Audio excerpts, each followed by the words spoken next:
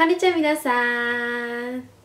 えっと今日はえっとたくさんリクエストいただいていたんですけど腫れぼったいまぶたとかあと奥二重とか一重とかそういった感じのこの目の crease の部分がなかなか見つけにくい目の形の方のための、えっと、アイメイク tutorial をしようと思います。えっと、私の普段のビデオの tutorial を見て、えっと、練習するんですがなかなかうまくいかなくてっていう方のコメント結構いただくんですね。で私が日本に帰った時も、えっと、ここアメリカにいる時も私のお客様にそういった感じの目の形の方がいらっしゃいますし来られます。でそういった時私はどういった感じのアイメイクを提供してるかっていうのを今日皆さんとシェアしようと思いますね。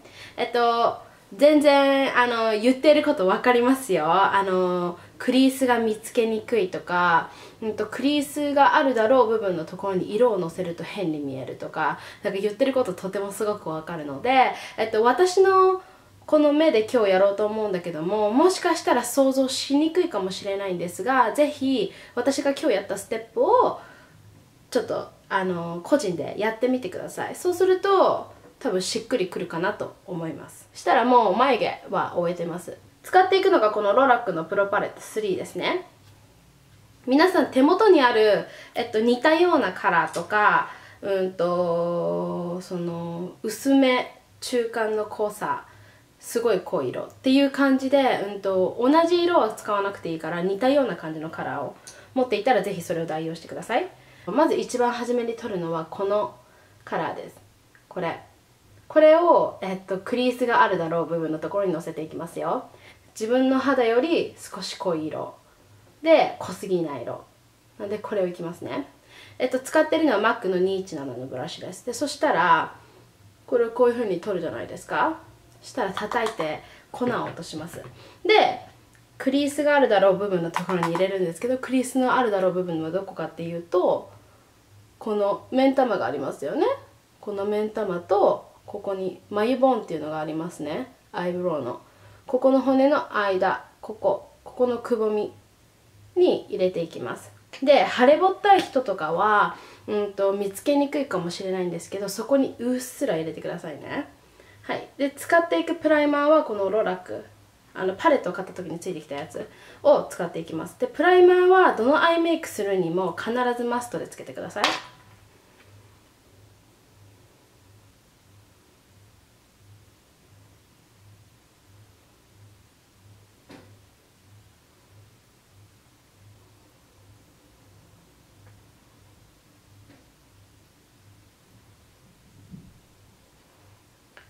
こういった感じの液体感の強いアイプライマーって結構あると思うんですけどそういったものに関してはのせた後に指で均すじゃないですか。そうしたらビューティーブレンダーで叩いてあげるといいですね。うんとその無駄についちゃったあの extra でついちゃったやつも取ってくれるしでムラなく伸ばしてくれるのでうんおすすめです。そしたらうんとこのくぼみの部分ですよね。ここにうっすらとこの色をのせていきます。まずスタートはここ。ここ。ここの一番際の部分ですね。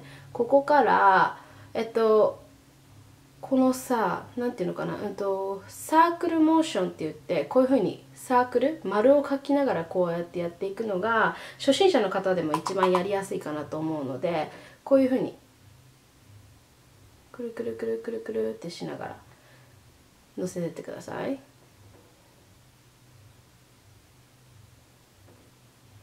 これは気持ちいい影を作っているような感じでのせてます。でここからのせてってここら辺までのせてますね。こっちまでのせないでください。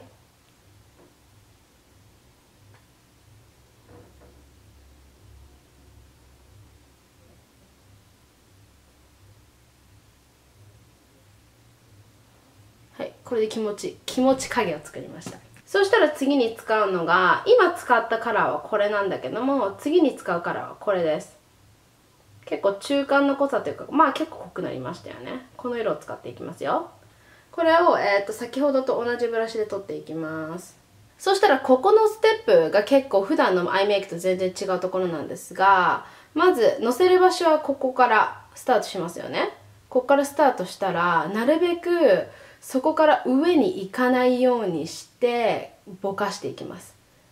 今私同じ場所をずっとサークルモーションしてますよね。こういう感じ。こういう感じでちょっと幅を広めながらぼかしていくんです。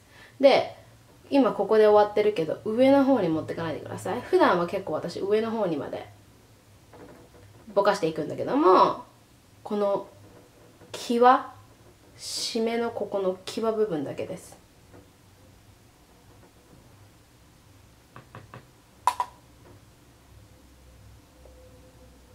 とひたすら同じところに丸を描く感じで色をのせてってますね。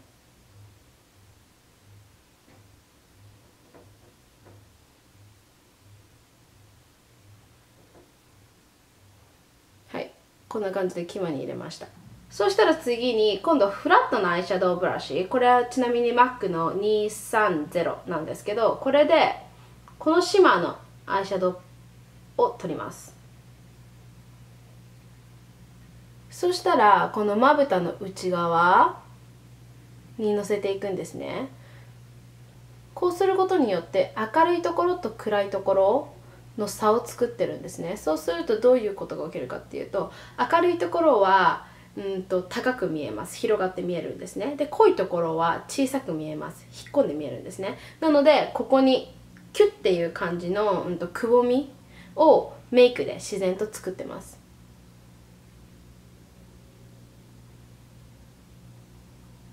で普段はそのくぼみをここからここら辺ぐらいまで色でのせていくんだけどもここに急所をのせることによって、うん、とそのクリースのちょっと腫れぼったいとか一重とか奥深いっていう人の目でも、うんと、自然に見えるんですよ。そう。上げすぎちゃうとおかしいなって思うかもしれないんだけどここ。この際だけに残しててください。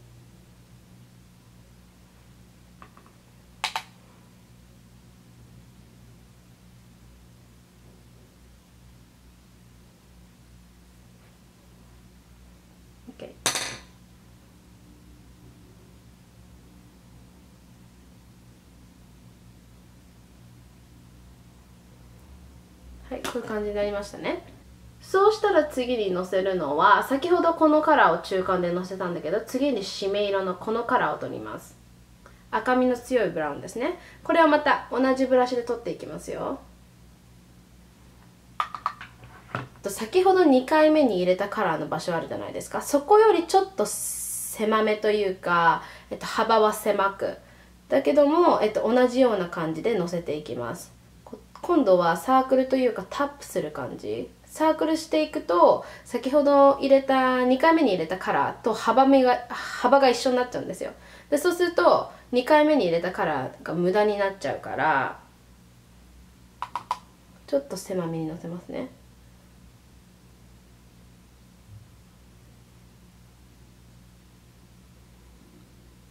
この際です。ここから離れないでください。これをね作業を続けていくとこうだんだんだんだんこう広がっていっちゃう人が多いんだけども。そしたら、うん、と今ブラシについてるのをティッシュオフしてこれをぼかしていきますよ。今ブラシには何の色もついてないような状況ですね。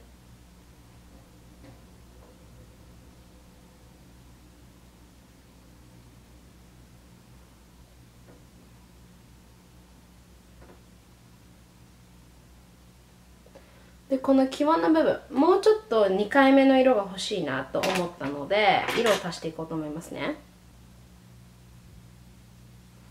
でそしたらここここの部分綺麗なグラデーション作りたいので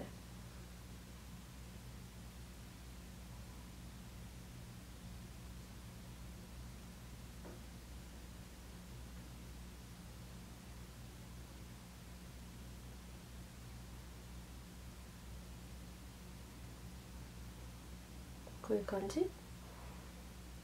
そしたらこの上のホワイトなマットのアイシャドウを取って眉毛の下にのせていきます。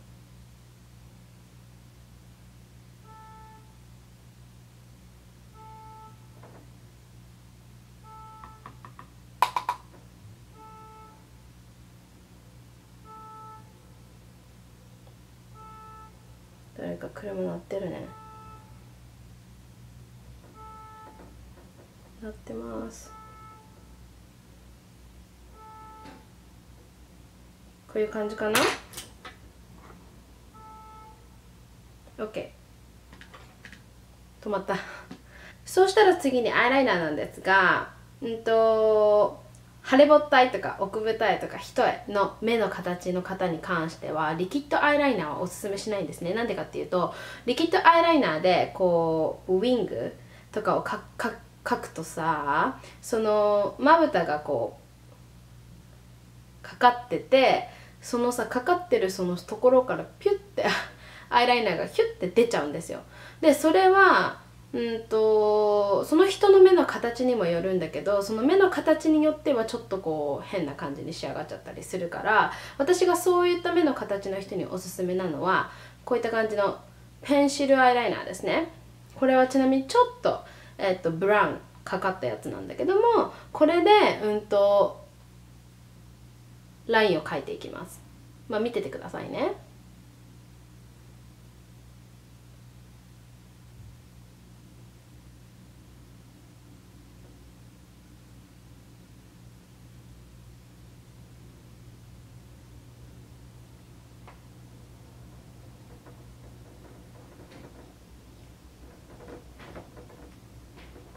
今こういう感じでアイライナー描いたじゃないですか。でこのままで終わってはダメなんですよ。このままで終わっては私のメイクではないんですね。ここでどうするかっていうとこの一番最後に使った締め色のカラーあるじゃないですか。これと、まあ、小さいこのブラシこれクラウンブラシから出てるやつなんで名前がくっついてないんだけどもこういう感じの小さめのブラシでこの色取りますよね。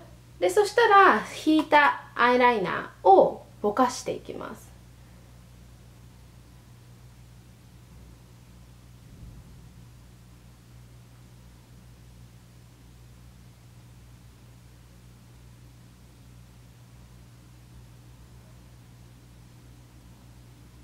こういう感じちょっとスモーキーっぽくしていくんですね。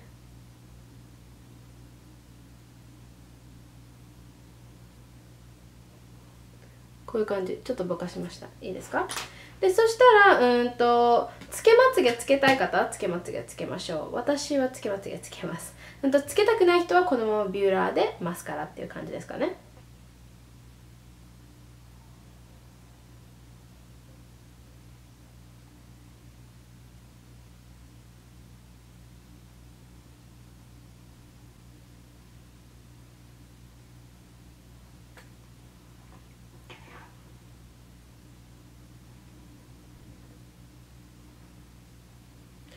OK したら目の下いきますよ。そしたら次目の下に行きたいんですけど2番目に入れたこの中間の濃いからありますね。これをこのディテールブラシで取ります。でそしたら目の下全体に入れていきますね。でその時ここのえっと2回目に入れたカラーとつながるようにして入れます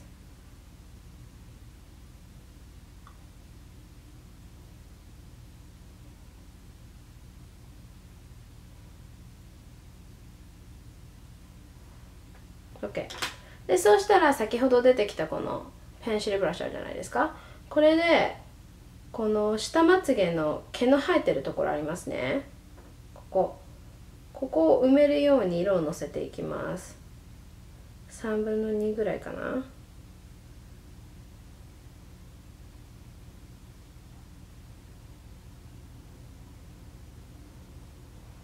こういう感じ？でそうしたらこのパレットからまたこの締め色を取りますよ。同じブラシで取ります。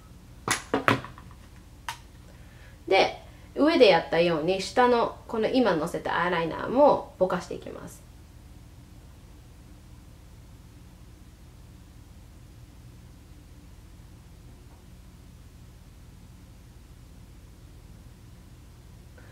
これで目の下もちょっとスモーキーっぽくなりましたね。でそしたらここで、えっと、必ずやってほしいのがホワイトのアイライナーでこの目の下粘膜にホワイトのアイライナーをのせます。でそうすると白目がもっとこう大きく見えて目が大きく見えます。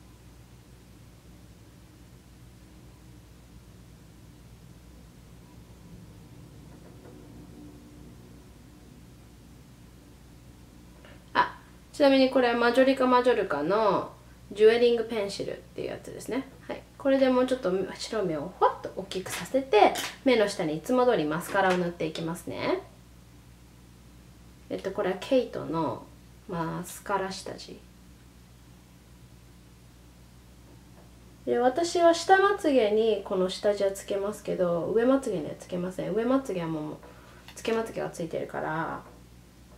でそしたら次にこのファシオのマスカラをつけますね。お。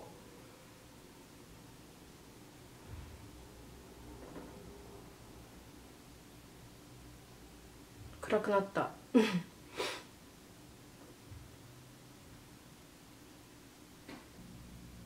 ちょっと暗いのね。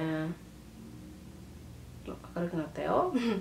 そしたら次に、えっと、このボビー・ブラウンのスモーキーアイマスカラっていうのを地まつげとつけまつげの間につけていきます。でもうつけまつげねこの上あるじゃないですか。毛の先はもうパーフェクトに出来上がってるのでそこにがっつりマスカラをつけたくないんですよ。でそうすると不自然な感じのまつげになっちゃうのでこの本当に根元だけつけて統一感を出すだけで大丈夫です。マスカラをつけるときは。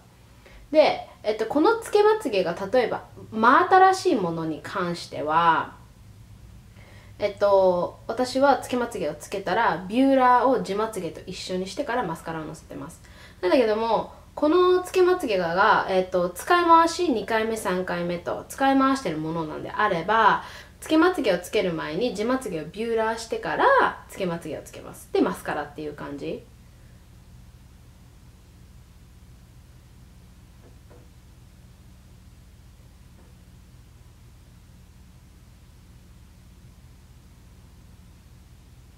このつけまつげにちょっとほら例えばマスカラが残ってたりとかしてでそれでビューラーをその後しちゃうとそのついてるマスカラをビューラーが潰しちゃって汚くなっちゃうんですね。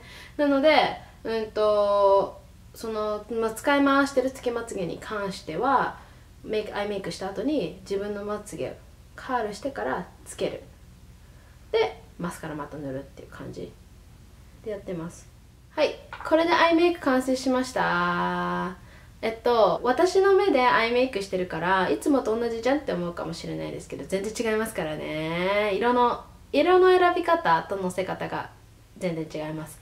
うんとこうやって見てみるとうっすらとここを影を作ってあとこの締め色、えっと、2回目のカラーと3回目の締め色に関してはもうもう本当にここのここの際だけに残してください。えっと、上に上がっていっちゃうと、それこそその感じてるなんかな変だなっていう感じになっちゃうからここの際だけに残すっていうのがポイントとあと,、うんとホワイトのアイライナーで目の内側を描く。ブラックのアイライナーは絶対に使わないでください。目が潰れて見えちゃうから。で、うんとその下えっとこのペンシルアイライナーでこの下まつげの際を埋めましたね。こういった感じの作業もすることによってこと目もっと目がこう大きく見えるんですね。なのでうんとまあよかったら是非このテクニックをトライしてみてください。やっぱり人それぞれの目によってもちょっとアップすぎる。はい。はい。えっと人それぞれの目の形によってアイシャドウの入れ方も全然違います。クリースの場所も違うしでそうなっていくと色の選び方も気をつけていかないといけないんですね。なので普段私がしているアイメイクはうんと本当にアイディアとして見てもらえれば一番いいくってうんと自分の目の形に合わないやり方をやる時もあるし自分の目の形に合ったやり方もあるし自分のスキントーンに合う色を選ぶ時もあれば全然自分のスキントーンに合わない色を選ぶ時もあるし私のメイクのビデオのメイクはうんと偏ってないです。あの幅広くやってるのでそれで、うん、と自分にこう使えそうだなとか自分の目でできそうだなとかいうものに関しては是非トライしてみればいいと思うし私が使ってる色じゃなくていいんですよ。それをとまた全然違う色でもいいし、まあ、そういった感じでもうちょっと柔らかく考えてってみてでやっていけばいいんじゃないかなと思います。で一番自分がメイクをする時に知らなきゃいけないことっていうのが自分の骨格なんですよ。どこにこの皮膚の下どこに骨があるのかとかうんとどれぐらいまで骨が入ってるのかとかなんかそういう部分そういった部分を知ることなんかここがくぼんでるなとかここに骨があるなとかここが出っ張ってるなとかなんかそういったところを自分の顔をちゃんとしっかり分かれば色が入れ色を入れる場所っていうのがだんだんちゃんと分かってくるんですよ。なのでまあもうそれこそ勉強というかあもう練習っていう感じ。なんだけどまあぜひあの、うん、メイクする機会毎日ある方とか週末だけの方とかもう本当に1ヶ月に数回とかそういう人とかまあいろいろと思うんだけどもあのメイクする機会があればその時間を見つけてぜひ、いろいろトライしてみるといいと思います。はい。それこそ芸能人とかなんか、まあ、海外の人とかでもいいけどそういった人のメイクをあのちょっと見てみてなんかやっぱりこういう目の形とこういう目の形の入れ方が違うなっていうポイントをキャッチできたら対応できると思う。自分に。はい。そんな感じです。そんな感じです。えっと私これからね息子の、えっと、ハロウィンコスチュームパレードに行かなきゃいけなくって、えっと、そう。そうそうすごい楽しみなんですよ。すごい可愛いの。子供たちがねみんな列を作ってこうコスチューム着て歩くのね。そのビデオを撮らなきゃっていうのをすごいもう頭の中に今あってはあっていう感じなんですよね。それでその後私お客様の予約が入ってるからメイクのお仕事も入ってるんだけどだから今日すごい忙しいっていう感じ。そうそんな感じです。ではえ、っと誰かさんの役に立ったらとっても嬉しいです。え、っとよかったら感想と書いてください。え、っとこういう悩みがあるとかいう方なるべく手助けしたいです。手助けしたいけどなんか文章で説明される説明すると私の想像であこういう感じなんだなみたいな、まあ、こういう感じだったらこういうことを言いたくってこういうメイクがいいんだなっていう風な感じでやるからうん。まあ、まあ、そんな感じなんですけど、まあ、ぜひ、うん、あのそういうちょっと悩みが多いものに関しては私もビデオを作っていきたいので、はい、ぜひ下の方にコメント書いておいてください。ではまた次のビデオで会いましょうバイ。